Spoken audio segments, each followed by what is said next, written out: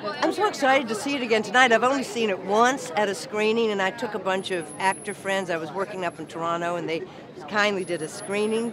And, and uh, to be, see it with a bunch of, there were about 10 of us, and everybody just came away agog, of course, at Jessica and Andrew. But, you know, it's called The Eyes of Tammy Faye for a reason.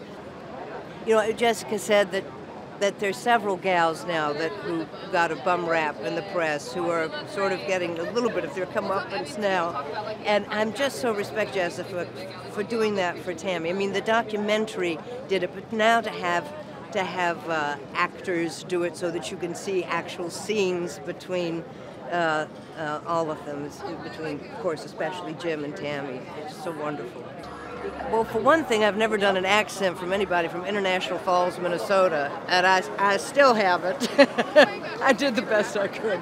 But I, I grew up in the South where people were um, profoundly religious and uh, and and just that horrible thing of this woman. I, I, love that Tammy was so protective of her mother, and, and and that because of this divorce, she was always having to go above and beyond uh, to gain the love and respect of her church and and her community, uh, because she had divorced, and uh, and it, it I think it scarred her, and it made her mistrustful of people and Meanwhile, she had eight children with a privy in the backyard in the coldest place on earth. She was made of strong stuff, Tammy's mama.